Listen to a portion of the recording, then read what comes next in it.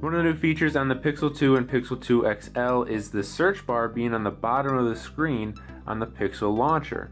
If you're not used to that and you don't like it, uh, you can't change it to put it on the top in the Pixel launcher, but what you can do is download a third-party launcher like Nova Launcher, which I'm using right now. And if you do that, you're going to go into the settings and look for something about persistent search bar. Here's this persistent search bar settings on the Nova launcher and you can adjust the search bar style and stuff like that. And now when I go back to the home page, I have it on the top like I'm more used to.